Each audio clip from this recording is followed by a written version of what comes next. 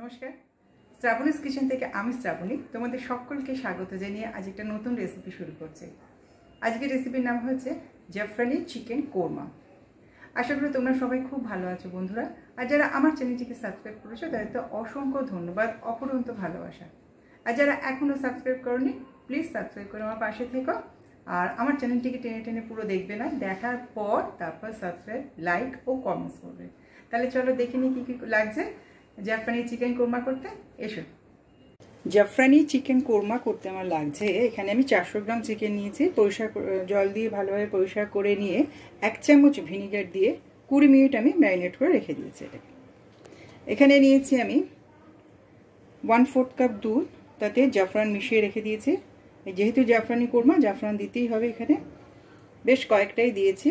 আর এখানে নিয়েছি one tablespoon আদা, ওয়ান টেবিল স্পুন রসুন চপ করে নিয়েছি, গ্রেট করে নিয়েছি। আচ্ছা এখানে নিয়েছি মশলা কিছু। ধনে গুঁড়ো নিয়েছি, ওয়ান টেবিল স্পুন ধনে গুঁড়ো। আর নিয়েছি এখানে red Kashmiri chilli powder one four spoon আর নিয়েছি এক চামচ নুন। আর এখানে ফ্রাই অনিয়ন করে নিয়েছি। Two tablespoon onion fry করে রেখে দিয়েছি।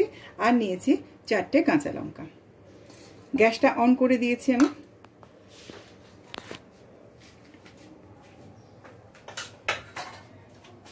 তেলটা দিয়েছি এখানে ওয়ান ফোর্থ কাপ তেল দিয়েছি। এখানে কেউ ইচ্ছা করলে ঘিতে হাফ তেল হাফ ঘিতেও করতে পারো। তা আমি পুরো তেলেই করছি এটা। হাফ টি স্পুন সাদা জিরে দিয়ে দিলাম।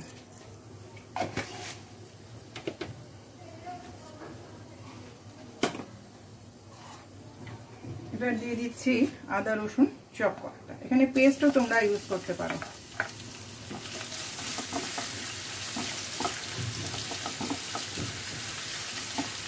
সুন্দর করে আদা রসুন গ্রেট করে দিয়ে দিলাম তেলের মধ্যে।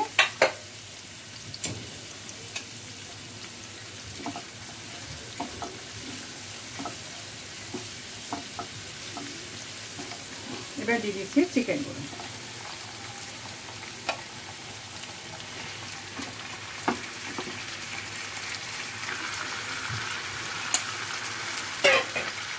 এই চিকেনটাকে আমি পাঁচ মিনিট ফ্রাই করব। ফ্রাই করে নিয়ে আসব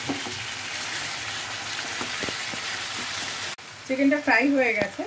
এবার আমি এই মশলাটা একটু জল দিয়ে গুলে নিচ্ছি।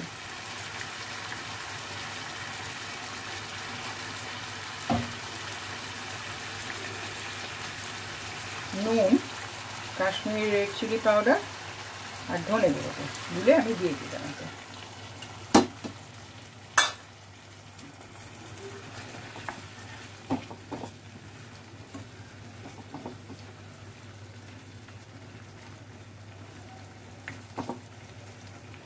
এই অবস্থায় দশ মিনিট হোক, তারপরে আমি আবার দেখাচ্ছি। এখন চাপা দিয়ে দিয়ে দিচ্ছি দশ মিনিট। চাপাটা খুলছি। এখানে আমি নিয়েছি ওয়ান ফোর্থ কাপ দই, তার সঙ্গে এই পেঁয়াজ বেরেস্তা নিয়েছি। নিয়ে এটাকে একটুখানি মাখিয়ে নিয়ে এতে দিয়ে দেবো। পেঁয়াজগুলোকে একটুখানি সে নিয়ে, এটা কিন্তু পেস্ট করছি না, হাতেই গড়ে দেবো। আর তার জন্য আমি গ্যাসটা টোটালি এখন বন্ধ করে দিচ্ছি। দিয়ে এটা আমি মিশিয়ে দিলাম। তা না হলে দইটা ফেটে যাওয়ার সম্ভাবনা খুব থাকে।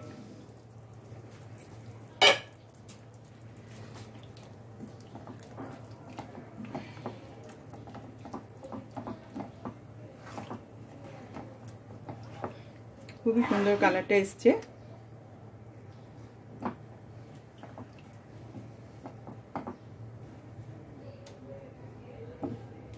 তেলটা আমি দিয়েছিলাম কিন্তু ওয়ান ফোর্থ কাপ এবার আমি দিয়ে দিচ্ছি জাফরানের এই দুধ আর জাফরান মিশিয়ে যেটা রেখেছিলাম সেটাও দিয়ে দিলাম দিয়ে আমি এখন পাঁচ মিনিট পর আবার আসছি।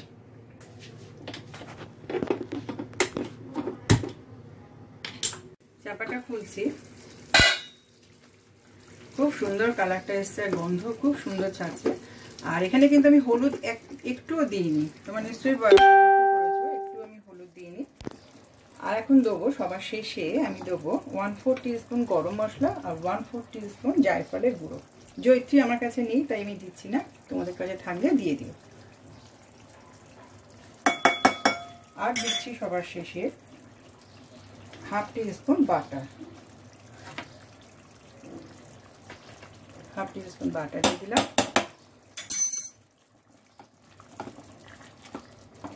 চিকেনটা খুবই সুন্দর হয়েছে, তোমরা অবশ্যই করবে।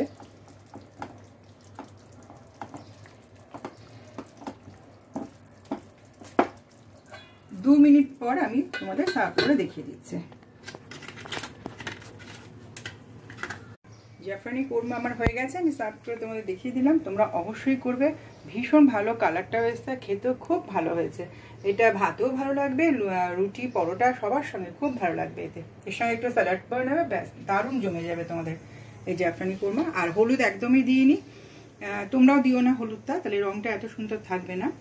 তাহলে আমাকে অবশ্যই জানিও তোমাদের কেমন লাগল। আমার এই রেসিপিটা যদি ভালো লাগে, তাহলে অবশ্যই আমার সঙ্গে থাকবে আর তার সঙ্গে সাবস্ক্রাইব বাটনটা ক্লিক করে দেবে এবং অল বাটনটাও ক্লিক করে রাখবে যাতে আমার নতুন ভিডিও নোটিফিকেশান তোমরা পেয়ে যাও।